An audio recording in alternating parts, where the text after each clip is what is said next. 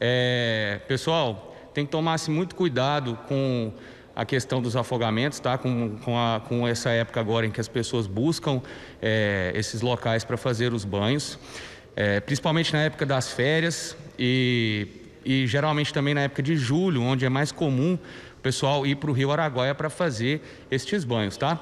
E nós aqui do Corpo de Bombeiros, a gente recomenda sempre que evite sempre utilizar de bebidas alcoólicas próximas às margens dos rios. Embriaguez e banhos não combinam um com os outros, tá ok?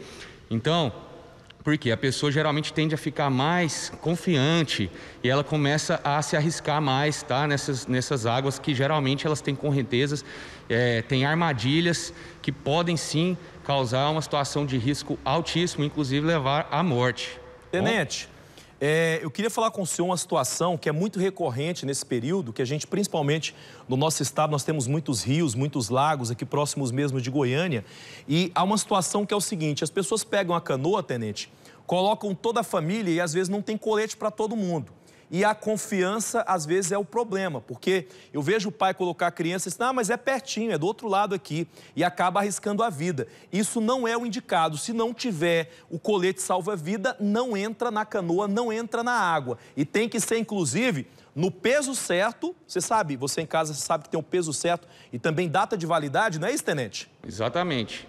Tanto quanto a quantidade de pessoas e a carga que a embarcação sustenta, quanto também é expressamente contraindicado a pessoa é, navegar com essa embarcação sem o uso de coletes. Até porque numa situação, por exemplo, de a, a, embarcação virar, o que é muito comum, é mais comum às vezes do que as pessoas mesmo acreditam, é, isso faz com que as chances da pessoa ter um acidente lá, por exemplo, ela vir a ficar inconsciente, é altíssimo. Isso aí já leva a um afogamento quase que de imediato. Tenente, outra coisa. Moto aquática, o tal do jet ski, que é mais conhecido assim. As pessoas muitas vezes não entendem que para andar nesse veículo ela também precisa de uma habilitação.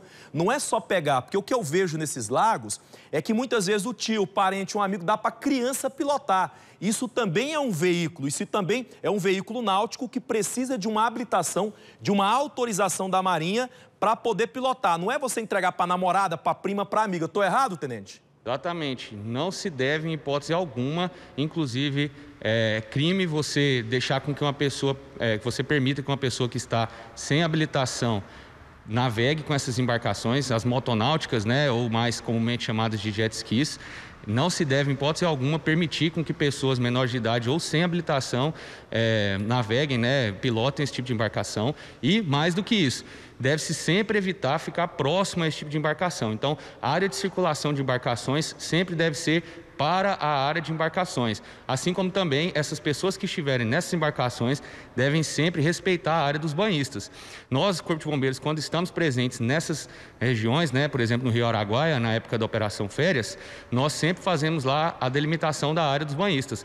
Porém, nós não estamos, nós não conseguimos estar presentes em todos os momentos e em todos os lugares. Por isso que a gente sempre fala, a gente sempre avisa, né? É melhor prevenir do que remediar. Então, a população também tem que estar junto conosco aí para poder a gente conseguir evitar é, o máximo possível, né, essas situações de afogamento, de acidentes, porque no ano de 2020 nós tivemos aí, de todas as ocorrências registradas, 88 mortes por afogamento, tá bom?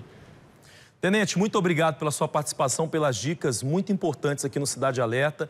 Que Deus o abençoe. Muito feliz ano novo para você também, viu, meu irmão? Muito obrigado. E ao, ao Corpo de Bombeiros, né, se vocês precisarem do nosso serviço, sempre diz que 193.